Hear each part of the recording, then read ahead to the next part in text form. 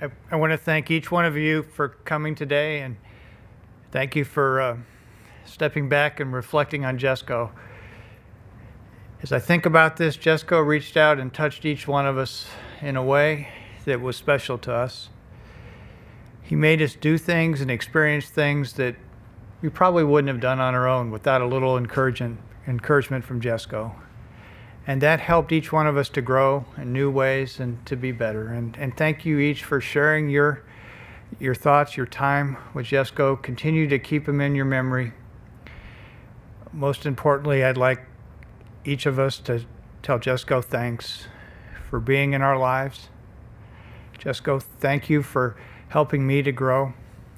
Thanking you, thank you, Jesco, for helping me to lead this organization. Jesco, give me some strength to push in ways when I when I want to back off.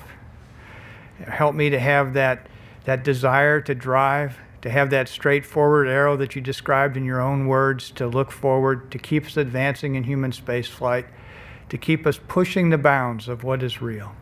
So, Jesco, I remember you, and I thank you for your time with me here on this earth. Thank you all.